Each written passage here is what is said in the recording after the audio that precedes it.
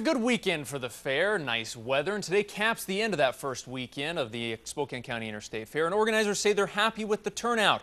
There are a few changes to the fair this year, though, that, are some, that some of them, rather, are keeping families away. KXLY4's Colleen O'Brien is live at the fair, and it's the first time in almost a decade that the price of admission was raised. That's right, the first time in eight years that they've had to raise the prices at this fair. Both the child and adult tickets increased by $2. And uh, organizers say they had to to keep up with the cost of operations. Thank you.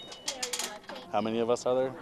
About 50, 60 bucks. 27, because she was free. Almost 40 bucks. Though prices are up, it didn't seem to slow down anyone at the fair today. It doesn't really matter to me because it's just a tradition to go every year, and so whatever it costs, we'll just pay to get in.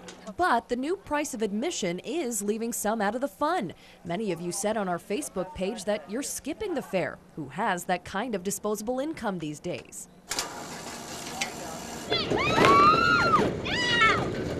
Prices went up for the first time in eight years. Tickets for admission went from five to seven for kids, from eight to ten for adults.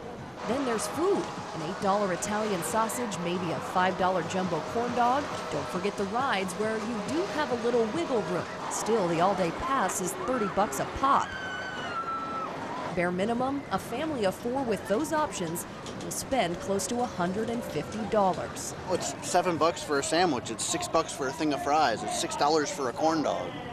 You know, that's borderline ridiculous, but you got to eat when you're here all day. Fortunately, once you get in, there are a few free activities, like the 4-H barns that act as a petting zoo.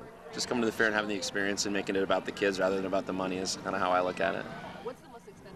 That's the right attitude for the fair. If you're thinking about not coming this year because of the price, keep in mind that the fair does offer incentives. It's on their website. They have a whole list of free admission days, including next Sunday. That's Coats for Kids. It's something that KXLY hosts. If you bring us a coat, we'll give you a ticket for a free admission for a child 13 and younger. Live at the fair, Colleen O'Brien, KXLY 4 HD News.